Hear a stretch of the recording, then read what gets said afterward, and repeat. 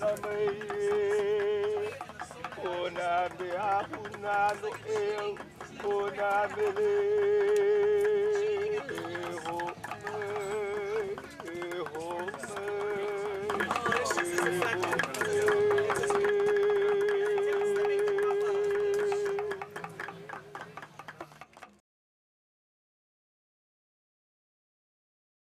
this lecture, I'm going to talk a little bit about cultural interactions with major world crops. Now, the diversity of food crops that we eat is very low compared to the diversity of food plants in the world. There are about 50,000 edible plant species across the world. Now, only 250 to 300 of these are food crops. Of these, only 15 crops provide 90% of the world's food energy intake.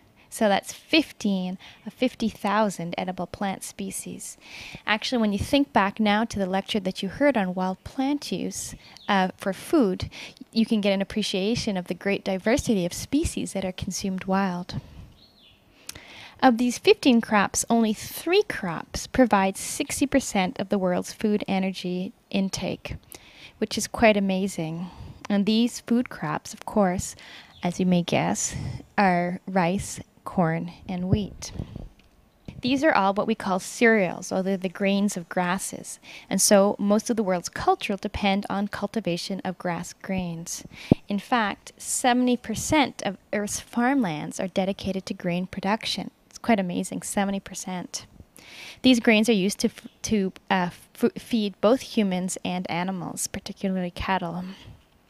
Of over about 9,000 species of grass that occur worldwide, only 35 have been cultivated, and only 12 have become important food crops. Rice, wheat, and corn have become particularly successful because of their ability to grow under so many different types of conditions. They're, they're, they're able to be grown in so many different parts of the world. This table just gives you an example of uh, the importance of grasses in terms of the top world crops. You can, uh, this is a list of the top 25 of them, and those that are in bold are grasses, so sugarcane, wheat, rice, maize, etc. Top annual world crop production. This is a picture of a typical grass plant. When we talk about grains, what we're talking about is the seed of the grass plant.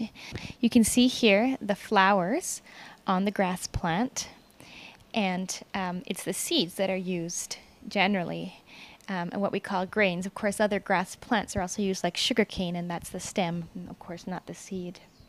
I want to talk a little bit about these three very important grass plants that make up most of our diet.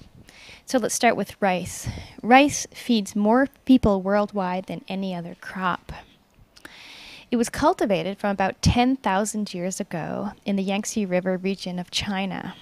Rice is grown in flooded fields or paddies, which many of us may have seen pictures of at least, but also in upland or dry regions as well.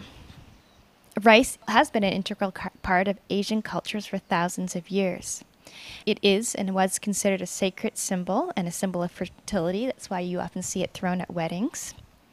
Um, it's important in many different cultural events, and believe it or not, it was unknown in the West until about 320 BC.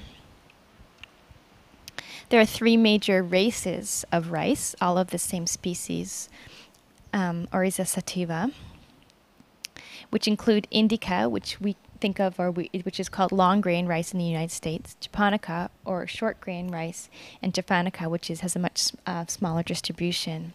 But of course, there are thousands upon thousands of varieties which have been developed by diverse human cultures over literally thousands of years. Botanists have done studies looking at the number of varieties that people grow in certain cultures. And just an example, one study showed that Thai farmers recognized over 100 varieties of rice. Of course, different varieties of rice are grown for different um, ecological conditions and used for different cultural practices or cultural events as well. Rice is an integral part of many cultures, in particular Asian cultures, and a great example of this is a traveling theater that's come to here, UH, last year and the year before as well, called The Art of Rice. And I'll read what it says on the advertisement because I think it's a great example of the importance of rice in culture. It says, despite differences in history, customs, and culture, the integral role of rice is the one certainty in all Asian nations.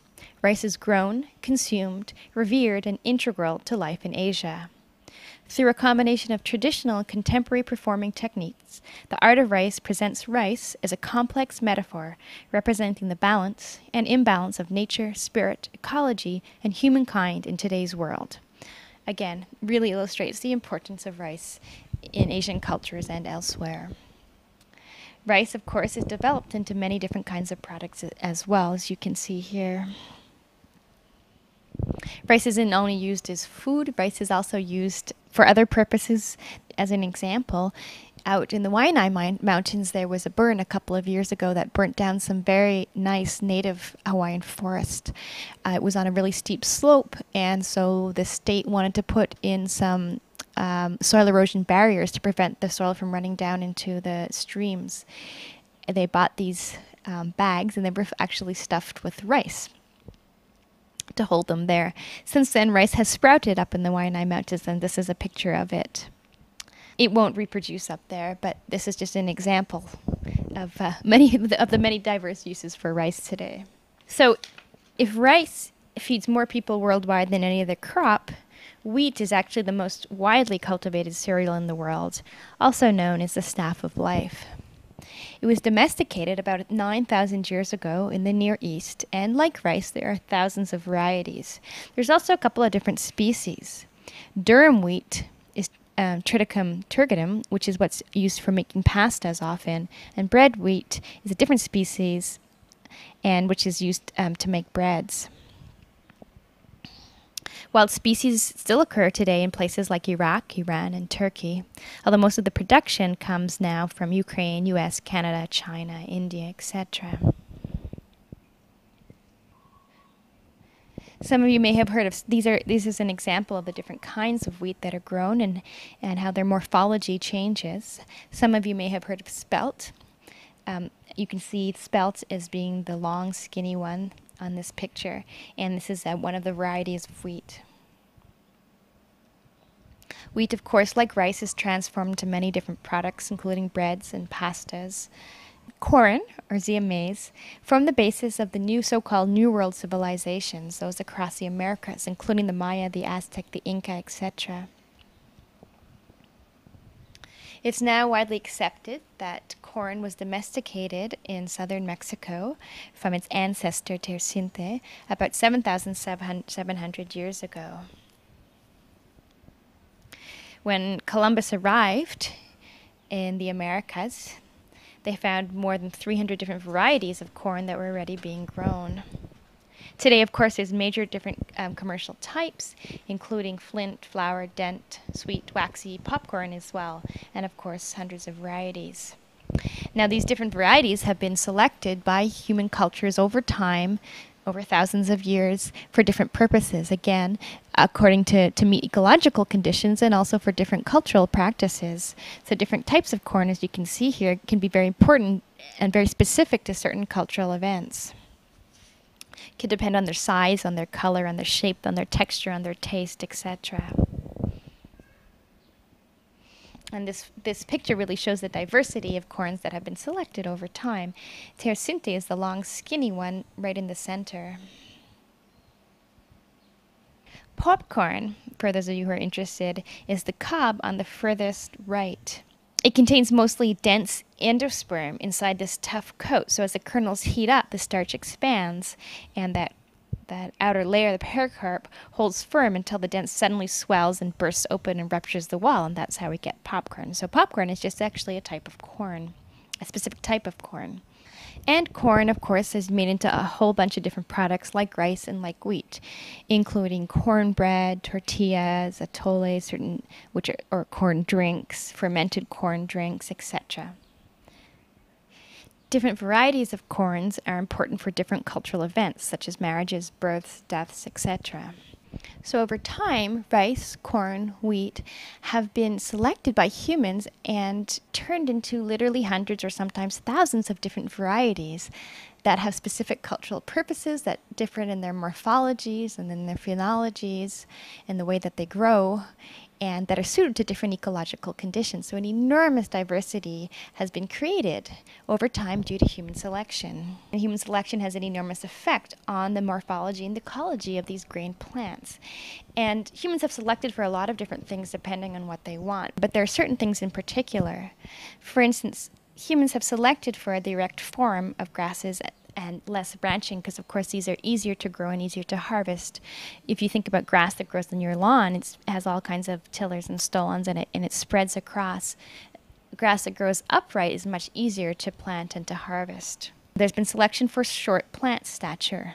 This of course makes it easier to harvest as well there's been selection against shattering of seeds. All plants want to disperse their seeds as best they can, so they have a greater chance of surviving and, and growing. The seeds have a greater chance of surviving and growing up to become adults.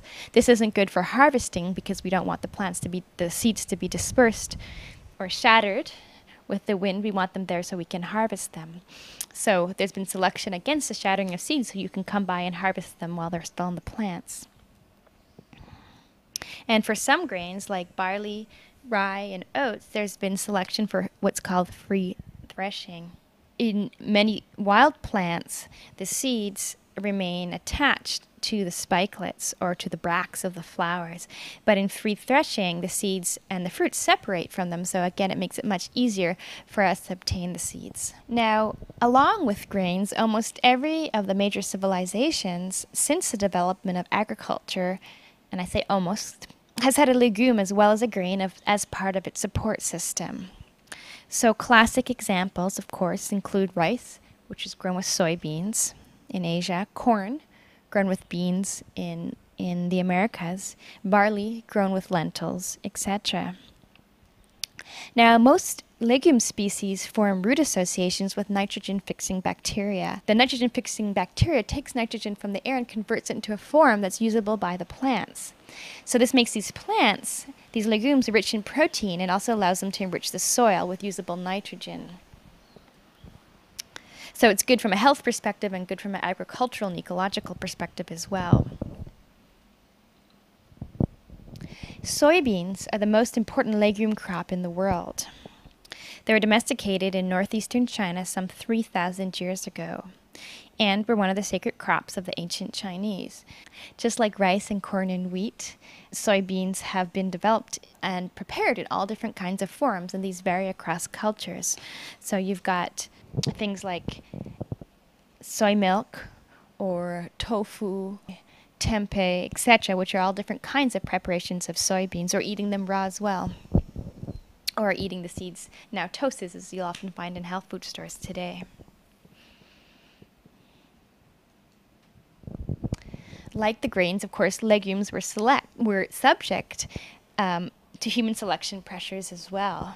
In particular, in legumes, humans have selected for the reduction of seed scattering, of course, to make the harvesting easier for the increase in seed size. Of course, the bigger in size the seeds are, the better that is for us, the more food and nutrition it is per seed. Uh, in term, uh, they have selected for synchronous flower, that means flowering at the same time, so that uh, whereas in the wild, legume plants might flower throughout the year, we've selected for flowering all at one time, so that makes the harvest much easier as well. And for a lack of dormancy. In the wild, Plants can produce seeds that some of them will germinate right away and others will stay in the soil dormant for a certain period of time and then only germinate according to certain conditions. What humans want, of course, are seeds that germ- all germinate right away so that when we plant them, they'll come up right away and they'll come up around the same time. So humans have selected for a lack of dormancy in legumes as well. Now, I said that uh, most civilizations have depended on a, on a grain and a legume to as the basis of their sustenance, but certainly not all. And Polynesian societies are a great example of, of um, a great society that did, does not or did not depend on cereals, but rather on storage crops from modified stems and roots. So, of course, taro or kalo, uh, sweet potato, ape, etc., the things that you've already learned about. The crops that are major world crops today for us, of course, are all native to one part of the world where they were domesticated and then spread throughout the world through trade over time, some a long time ago and some much more recently. And as these plants have moved over space and time, cultures have adopted and adapted them um, to their own cultural traditions. And we can see this when we look again at the past and contemporary movement of crops over time. So, just to give you some examples, mango is a fruit that we take for granted here in Hawaii. A lot of us associate mangoes with just any kind, any tropical country. They're probably the most popular fruit across the world. Uh, but mangoes, however, are native to South Asia and Southeast Asia, and in Southeast Asia, mangoes can be revered. They're often seen as a symbol of goodness. The shape of a mango in parts of India is a sacred symbol, so they're very important culturally. Uh, from the 1700s, the mangoes were, were transported by the Europeans, I think, um, to Latin America, where now mangoes are a staple, are very important food in Latin America. They're important here in Hawaii. And every culture adapts it to its own uses. So here's a great example of mango being adapted, having been adapted and adopted into local culture. Chilies, of course, are another great example of these. Chilies are a major world crop today. They were domesticated in Mexico about maybe 9,000 years ago. They were an indispensable part of the native Mexican diet when Cortez first arrived there. There were numerous varieties there already, having been selected by the Mexicans, and they were consumed apparently with every meal. Of course, there's many varieties today, and they've been selected in many in diff- by different parts of the world. And although native to Mexico, they've become an absolute integral part of many cultural cuisines, including Indian cuisine, Indonesian, Korean, some parts of Chinese cuisine, etc chili peppers have also been adopted into Hawaiian culture. This is another great example Hawaiian chili peppers.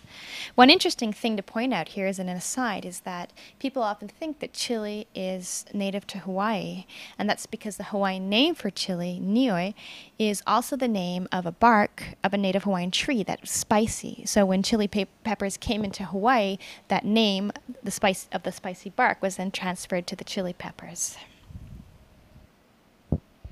A third really great example of the ways in which crops move across cultures and then are adopted and adapted into them are tomatoes. Tomatoes are native to Latin America and apparently first domesticated or thought to be first domesticated in Mexico sometime before 500 AD. They were introduced to Europe in the early 1500s, but they were first rejected there because they're part of the nightshade family. A lot of these species are poisonous, and so the Europeans rejected it. When they were introduced into the United States, they were not immediately adopted either. In fact, they were grown primarily as a horticultural plant or ornamental plant, and people thought they were disgusting and that they were poisonous. It wasn't until 1820 when somebody ate them and decided to eat them in public in front of a large crowd that the tide the tide turned and people began to eat them. Now, of course, they're an integral part of the diet in the United States. They're grown around the world. They're an integral part of Italian food. But you've got to remember, again, Italian cuisine didn't have these until they were introduced from Latin America a few hundred years ago. So, again, great examples of the ways in which world crops are moved across space and adapted and adopted by local cultures. This is another example of the ways in which plants diverse regions become adopted by a culture and then in, and then associated with that culture. I have a cookbook, a Hawaiian cookbook that lists the vegetables that are associated with different cuisines, and this is a list of Filipino vegetables. So the book included okra, bitter melon, barangay, chop suey yams, and tamarinds, and you can see the diverse places where these different foods have come from. They've been adopted into Filipino culture and now considered Filipino vegetables as crops move across the world and as people move across the world as well, um, recipes are changed and adapt as well. So here's an example of changes in a Portuguese soup, which was originally kale soup in Portugal. In India, it became kale and spices because of the spices there. In the Caribbean, it is made now from taro leaves. Now you know from your lectures that taro is not native to the Caribbean, but is eaten there. And in Hawaii, it became kale and sausage. Again, an example of the ways in which plants and culinary traditions are changed as they move from place to place and culture to culture. Another consequence of the movement of plants across different cultures is that the same very same plants are grown and used differently by different cultures today. Any of you who have traveled outside of the country, I'm sure, would have seen examples of this. One great example, though, is bananas. Most people in the United States are familiar with only one type of banana. However, there's many different varieties of bananas that have been developed and are eaten in different parts of the world.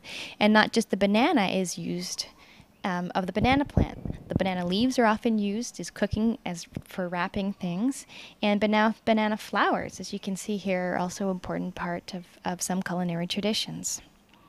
Bananas here in the United States tend to mostly be eaten raw, the fruit, or, or ripe, whereas in other other places bananas are eaten green, and most of the time they can be cooked.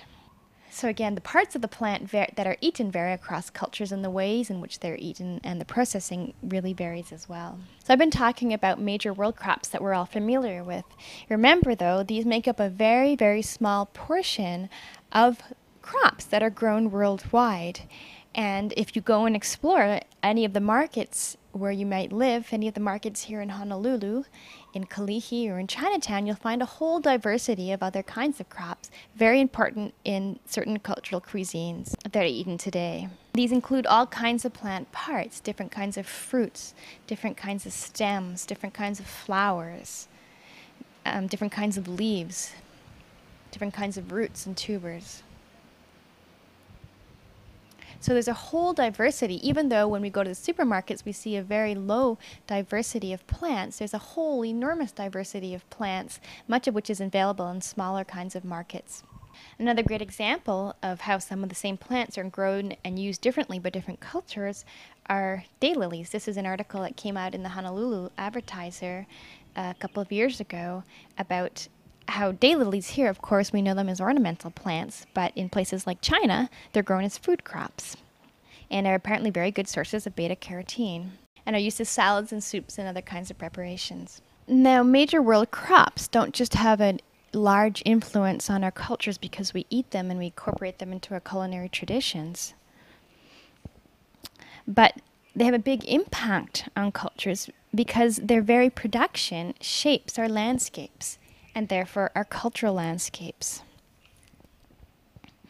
So the production of major world crops can affect local patterns, local patterns of food consumption, local foods, and local cultural traditions.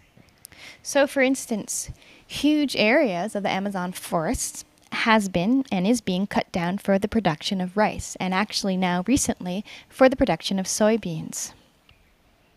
In Hawaii, sugarcane pineapples, etc., displaced forests and displaced the crops that were originally grown here, like taro.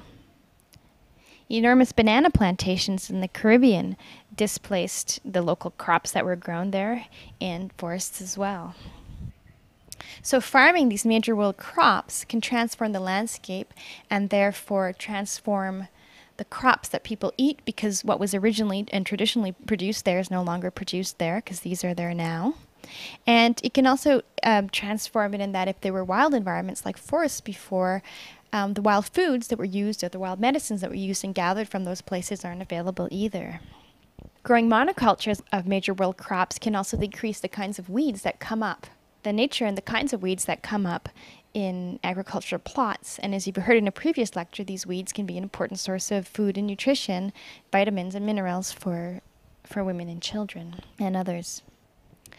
The protection of major world crops can also affect local patterns of food consumption and local cultural traditions through the planting of so called improved varieties, which then go on to take the place of local varieties. This has taken place through the Green Revolution when high growing, fast yielding, or fast growing, high yielding varieties were developed and introduced into different places in the world, some successfully and others um, not successfully in, at all, or with GMOs today.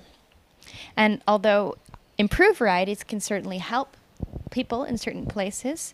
They can also have negative impacts in that they can take the place of varieties that have been developed over hundreds or even thousands of years to meet specific ecological conditions or to meet specific cultural traditions. One of the other consequences of the great production of major world crops is that uh, when there's overproduction, as there often is of things like corn in the United States or Canada, these get imported to other countries at very, very low prices. And this can inhibit local production of crops and therefore uh, local varieties of crops that are grown or local species of crops that are growing as well can be displaced.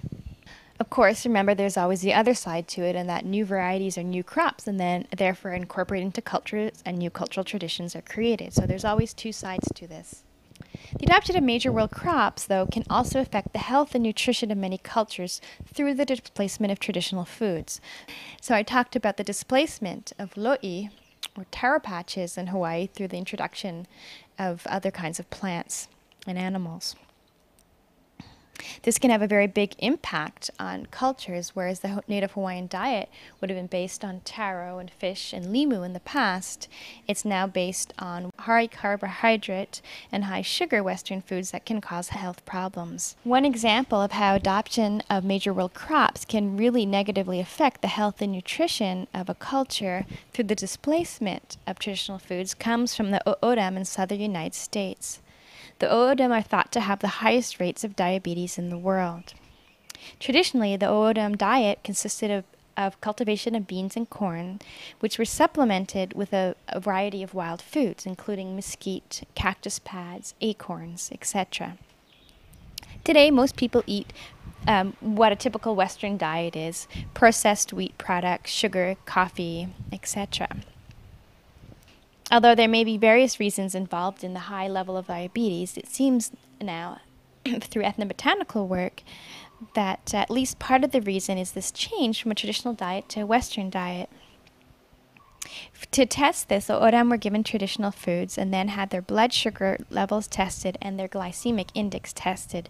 Now, the glycemic index is how rapidly the body produces insulin to metabolize sugar. Okay, if you've got a high glycemic index, that means you've got a fast blood glucose response. If you've got a low glycemic index, that means it's a low blood glucose response. So it was found that traditional O'odham foods had carbohydrates that were slowly digested, which resulted in a slow rise in blood sugar level and a very low insulin response. In fact, the glycemic index of O'odham varieties, traditional varieties of corn, was even lower than that of modern varieties. So it's not just the, the species that's being changed, but the traditional variety had a lower glycemic um, index than the modern variety of corn. And of course, all traditional foods had lower insulin responses than modern white bread. The reasons that traditional diet had a much lower insulin response was because of the characteristics of these traditional foods. There are starches that are digested more slowly, as I mentioned. They tend to be more fibrous, so the rise in the blood sugar level is slower. They have many have mucilage that slows down digestion and absorption of starch. And even traditional ways of grinding and processing food can make them less likely to exacerbate diabetes. So, again, a change not just in the species that are eaten, but in the varieties of those species that are eaten, from traditional varieties to some of the modern varieties, and a change in the way in which the processing of the food is done.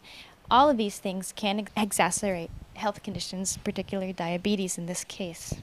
Major world crops can also, of course, act as agents of social and cultural changes. Now, of course, historically and, and currently as well, they continue to do so. So, of course, classic historical examples, we can look right here at Hawaii. The major planting of sugarcane in Hawaii um, resulted in the bringing of people from different parts of the world, from China, from Japan, from Korea, from uh, Portugal, here to the Hawaiian Islands to work on the sugarcane fields. And this eventually led to the development of what we now call local culture.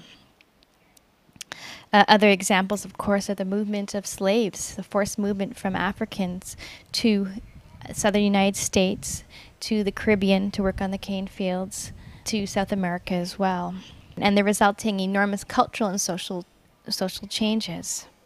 The movement and the migrations of people continue today and continue to have cultural impacts. Just to give you an example, I've done a lot of ethnobotanical research in the south of Mexico, some of the, the rural and indigenous communities there a number of years ago, people from those communities who had traditionally not left them but had, had stayed there began to migrate north to work seasonally on tomato plantations and grape plantations in the north of Mexico and the south of the United States. Over the few years that I was working there, perhaps five years, increasing increasing numbers of people left to work up there would stay there for a few years and then come back. This migration of people and the movement of thoughts and, and cultural ideas has big impacts on the local communities.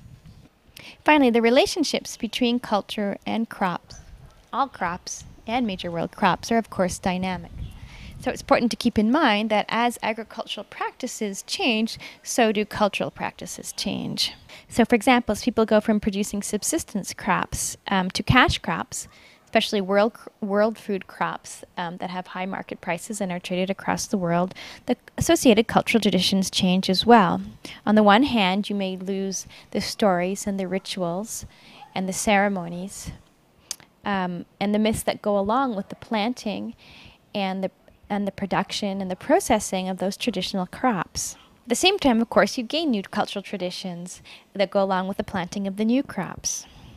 At the same time, as cultural practices change, so do agricultural practices. A good example of this comes from the use of amaranth in Mexico. Now, amaranth was one of the four most important crops in Mexico before the Europeans arrived. It's a very nutritious crop. It's used and promoted today because of its high nutrition, and it was cultivated over vast territories in Mexico. It wasn't just important in the diet, but it was important in religious ceremonies. It was important for use for the Aztec gods. When the Spanish uh, and the Spanish came, uh, the missionaries, of course, wanted to destroy the local religion.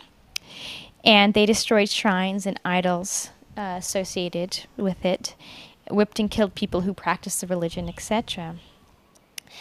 As a result, amaranth, despite being a food crop, because of its strong association with the local religion, disappeared less than a hundred years after the Spanish first arrived. Again, an example of the ways in which food and cultural and religion are all intertwined, and how forced changes in cultural practice um, result in, in, in big agricultural changes as well. So, some key concepts to take home. Worldwide agriculture and human diet are dominated by a very small number of plant crops. These crops play an important role in the cultures where they are consumed. Similarly, human cultures have played an important role in shaping the diversity and varieties of these food crops. Production of major world crops can also affect local cultural traditions where they are grown. So, not just the consumption, but the production as well shapes the landscape. The relationship between crops and culture is dynamic as both move through space and time.